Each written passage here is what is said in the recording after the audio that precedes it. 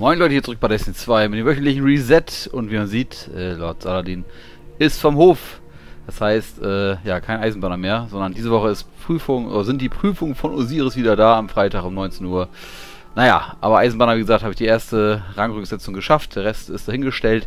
Aber wie gesagt, PvP ist ja eh Kryptonit, ist ja eh eher mehr äh, anstrengend als irgendwo spaßig. So, wir gehen jetzt erstmal, würde ich sagen, zu Tess und schauen erstmal nach, was da, da so rumfliegt bei ihr, ja, und äh, vielleicht ist auch was Schönes da. Mal abwarten, mal gucken. Äh, genau, Flashback, Song der Würdigen ist jetzt hier irgendwie auch noch was Neues da. Äh, da kann man sich einige Sachen kaufen. Willkürlicher Warlock-Paket habe ich schon komplett.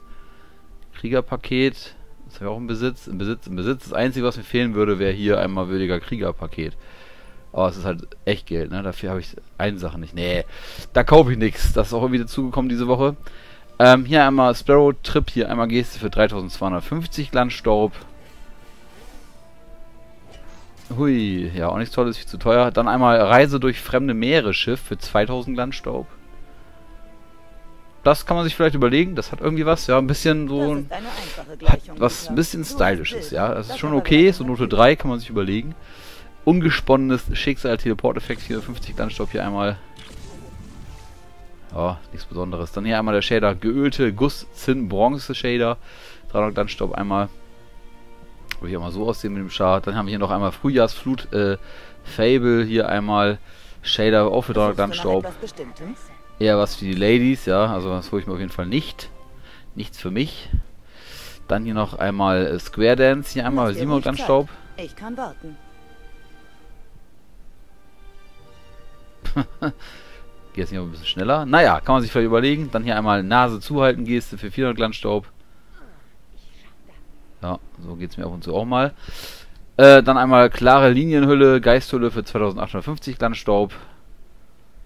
Hm, geht so. Dann hier einmal Tauwerk Clipperschiff für 2000 Glanzstaub. Kann man sich vielleicht auch mal überlegen, aber ist eher so 3 Minus von der Note her. Äh, Weißkreuzer Transportmittel für 2500 Glanzstaub. Ja, ist ja mal richtig 70er, Anfang 80er Style, ne? Irgendwie so ein bisschen wie DeLorean weil zurück in die Zukunft irgendwie.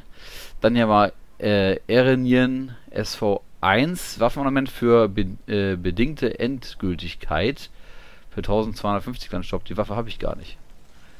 Schade eigentlich, dass ich die nicht habe. Sieht ganz geil aus so, oder? Passt schon, oder? Ja doch, sieht ganz cool aus. Die hat was, aber die habe ich da nicht. Dann hier einmal, äh, Das ist eine einfache Gleichung. findest du eine heilige Projektion oder was? 1500 äh, Glanzstaub. Ja, nichts Besonderes. Dann hier Teleporteffekte, einmal Pyramidenauftritt hier einmal. Dann einmal hier Minotaurus-Effekte. Und hier einmal noch Vex Ankunft. Dann haben wir hier noch einmal, wie gesagt, das haben wir schon gezeigt. Dann haben wir noch sieben Schwestern, einmal der Shader. Ist ja auch noch ganz okay. Dann einmal hier noch Zwielicht Zwist. Und zum Schluss hier einmal Blutiger Zahn. Ja, es war ein bisschen was dabei. Also das Ornament hier, wenn man die Waffe hat, ist gar nicht schlecht, finde ich. Finde ich ganz hübsch. Der Flieger vielleicht noch. Die Gist kann man sich hier beide vielleicht auch noch überlegen. Und sonst hier ist natürlich auch nochmal das andere Schiff hier. Aber der Rest ist dahingestellt. Shader kann man sich ja immer angucken. Aber wie gesagt, es ist immer Geschmackssache. Aber da kann man mal gucken, ob man hier vielleicht was gebrauchen kann. Ihr habt noch bis nächste Woche Dienstag Zeit, 19 Uhr. Oder davor zumindest Zeit. Äh, das noch zu überlegen, was ihr hier kaufen wollt, könnt, müsst, solltet. Oder ja, oder auch nicht. So, Banshee gucken wir uns auch mal eben schnell alles an. Welche Waffen gut sind oder nicht, kann ich euch gerade nicht sagen. Ich will das einfach mal eben durchgehen. Da haben wir hier einmal diese Woche äh, flüssende Platte, Kampfbogen, dann einmal äh, Planks, Bewegung, Maschinengewehr, hier noch Ausweichplan, Scoutgewehr, dann einmal äh, Pizzicato äh, 22 Maschinenpistole und hier einmal Gallo RR3, das Scharfschützengewehr. Auf der anderen Seite gibt es auch noch was hier, äh, Persis D Scoutgewehr, dann einmal Glissando 47 Scoutgewehr, dann haben wir einmal Plejaden-Korrektur Scoutgewehr, dann einmal äh, Ogma IG6 Impulsgewehr, dann äh, Marsilion C Granatwerfer und hier einmal geodetische HSM Schwert. Okay. Ja, wie gesagt, wenn da was bei ist, was gut ist, wie gesagt, weiß ich gerade nicht, würde sonst den Rahmen sprengen, wenn ich das jetzt bei light.gg nachschauen würde, die Perks. Aber sonst kauft die Waffe, teste die aus und sonst packt die in den Tresor, wie gesagt, kein Problem. Wenn ich irgendwas Wichtiges noch weiß, werde ich sowieso nachliefern, aber aktuell weiß ich gerade nicht, ob da was Gutes bei ist oder nicht.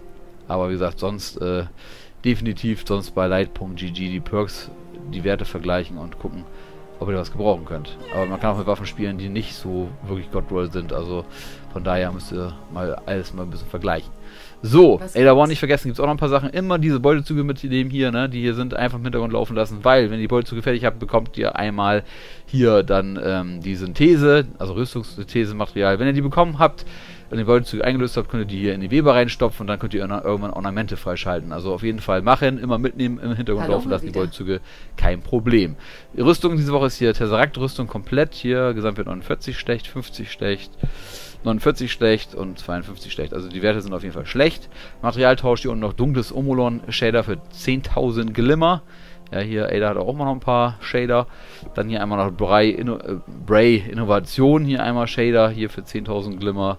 Und dann haben wir hier noch einmal Schicksal des toten Orbits, einmal auch für 10.000 äh, Glimmer. Ja, da könnt ihr auch nochmal vorbeigehen, wie gesagt. Nicht vergessen, Ada One gibt es auch noch. So, dann natürlich wichtig, die drei NPCs hier auf dem Turm immer mit 8 Beutezügen bedienen, damit man immer mindestens 120 Landstaub von denjenigen gekriegt. Also Zavala, 120 Landstaub gibt es einmal dann äh, Lord Checks und hier beim Vagabund immer die Beutezüge mitnehmen und fertig machen. Definitiv fertig machen, weil äh, auch hier ist einmal, wie gesagt, hier äh, gut ausgeruht, wenn ihr das abgeschlossen habt. Dann habt ihr auch schon mal fünf Season-Ränge oder zugewonnen und das geht recht fix, auch wenn ihr Bitte natürlich Beutezüge abschließt. Es geht nichts, geht nichts über Beutezüge in Destiny 2. Immer noch nicht. So, äh, EDZ haben wir natürlich immer noch, wie gesagt, hier einmal Knoten Override Avalon immer noch aktiv mit Spitzenausrüstung, wenn ihr Bock habt. Ähm, dann haben wir hier natürlich die Helm, wo die meisten Sachen aktuell abgehen, sagen wir es mal so. Die Story geht weiter. Hier einmal der Klang, äh, Klangenpfad, ja, der Klingenpfad geht weiter. Dann haben wir hier einmal Savatons Säule wieder. Dann haben wir hier natürlich wieder LT, Altäre der Beschwörung, wo ihr dann eure Beschwörungsdinger äh, hier reinstopfen könnt. Hier einmal die Opfergaben, genau, die könnt ihr da reinstopfen. Muss ich langsam auch ein paar loswerden, wie gesagt. Da muss ich auch nochmal reingehen, ein paar Sachen erledigen. Gibt es auch noch Triumphe, die erfüllt werden wollen. Muss ich auch reingehen, wie gesagt, kein Problem. Neptun haben wir natürlich auch wieder einige Sachen aktiv. Da haben wir hier einmal wöchentliche Missionen. Ist diese Woche einmal keine Zeit mehr. Hier die Modifiers anschauen, danach einstellen, Team zusammensuchen und rein da. Dann haben wir hier noch einmal, äh, das muss ich auch noch spielen, Enthüllung, Kampagne muss ich auch noch spielen. Hier unten haben wir auch noch hier äh, Schleier-Eindämmung. Story ist das noch einmal, muss ich auch noch machen. Die Wechselübergriffszone ist aktuell hier diesen, diese, diese Woche. Dann haben wir dazu noch Teilbereich Hintertür. Gerade hier Terminalüberladung AP ist einmal hier in dem Bereich, wandert jeden Tag um 19 Uhr heute da morgen hier unten und übermorgen hier oben. Dann natürlich auch immer die Beutezüge mitnehmen, nicht vergessen. Ne? Beutezüge, Beutezüge, Beutezüge. Äh, Kopf über Zeitprüfung habt ihr auch noch, wenn ihr Bock habt. Also ihr habt auf Neptun natürlich noch genug zu spielen. Manchmal auch im Verbund mit äh, Aktivitäten wie Herausforderungen, also saisonale Herausforderungen etc. etc.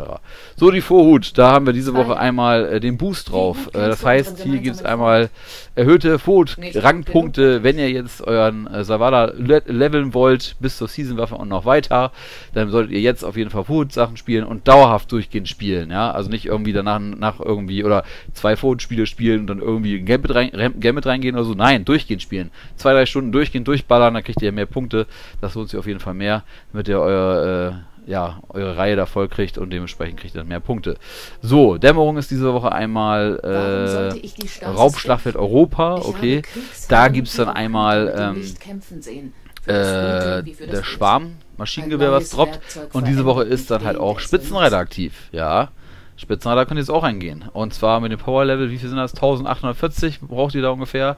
Ihr seid, glaube ich, aber gecapped. Ich weiß gar nicht genau, wo ihr gecapped seid. Zudem gibt es auch noch für, also erhöhte Rangpunkte und Dämmerungsprämien gibt es auch noch doppelte. Also im Moment äh, lohnt sich richtig, diese Woche Dämmerung zu spielen, auch auf Held oder so. Ist egal, aber diese Woche lohnt es sich auf jeden Fall, Food-Sachen zu spielen. Definitiv. Und das halt, wie gesagt, durchgängig spielen.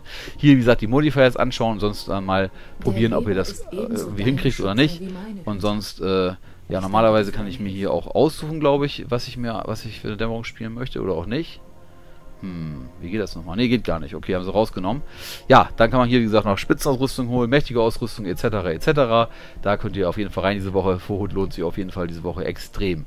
Gambit nichts Neues. Wie gesagt, hier kannst du reingehen und Boyzu mitnehmen und fertig, so ungefähr. Schmelz, die gibt es vielleicht noch ein paar neue, neuere Sachen. Mal gucken. Rumble ist aktiv. Dynamikkontrolle, ja, wenn ihr ein paar Abschüsse braucht. Oder ihr werdet ganz gerne auch mal selber weggeschossen. Da könnt ihr dann mal reingehen. Also mit Scope-Gewehren zum Beispiel ist ganz easy. Also easy nicht, aber ist halt ab und zu ein Schuss tot. Schmelzige Labore haben wir hier Competitive und hier einmal Kontrolle. Und Vorherrschaft ist hier einmal aktiv. Wie gesagt, und am Freitag kommt Osiris wieder So, bei Legenden haben wir folgende Sachen aktiv. Hier einmal äh, Gläserne Kammer ist aktiv, okay. Dann haben wir hier einmal Krotas Ende natürlich und hier haben wir, also Gläserne Kammer, alle Herausforderungen aktiv, genau.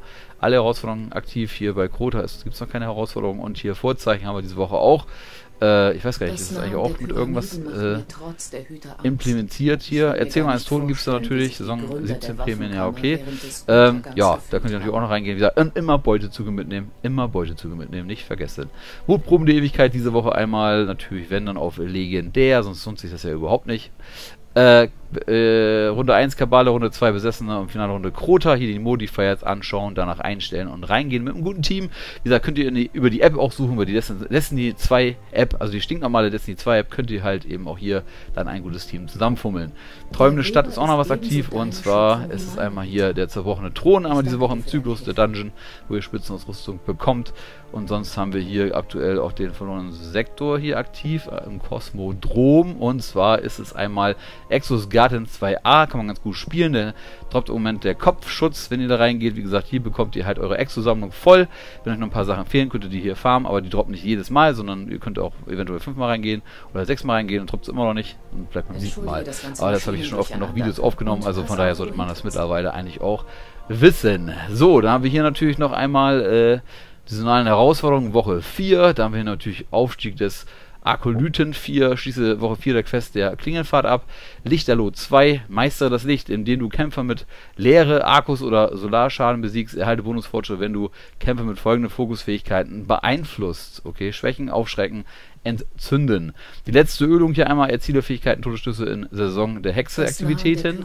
Dann Kurzdistanz-Kalibrierung, kalibriere Kurzdistanzwaffen, Pistolen, Maschinenpistolen, Schrotflinten, Gräfen und Schwerter. Es gibt Bonusfortschritt für das Besiegen von Hütern. Dann vergessene Macht hier einmal, schießt eine mächtige Begegnung in den Altären der Beschwörung ab und besiege Kämpfer mit äh, dem Schadenstyp, der deinem Fokus entspricht. Okay. Dann Beutezug, Beschwörer, schieße während der Saison der Hexe tägliche Beutezüge ab. Dann hier einmal Spitzenreiter, schieße in einem beliebigen Dämmerungsstrike auf der Schwierigkeitsstufe Spitzenreiter ab. Ja, da haben wir natürlich alles wieder dabei.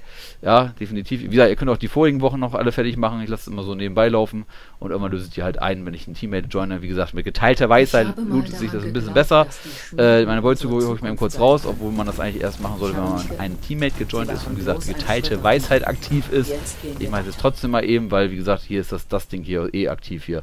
Gut aus, ausgut, deswegen ist es auch so okay. So, das soll es glaube ich gewesen sein. Ich glaube, ich habe jetzt hoffentlich nichts vergessen. Ich hoffe es zumindest, ich bin mir jetzt nicht ganz sicher. Ähm, und sonst ja, viel Spaß beim Zocken. Und ähm, ja, sonst guckt in die Videobeschreibung, die Infos kommen alle von meinem MMO. Und sonst, äh, ja, muss ich Story noch spielen, das mache ich morgen. Und jetzt gehe ich erstmal in den Feierabend. Danke fürs Zusehen, reingehauen, bis zum nächsten Mal. Euch viel Spaß diese Woche beim Zocken. Und äh, wir hören uns. Danke für den Support. Tschüss.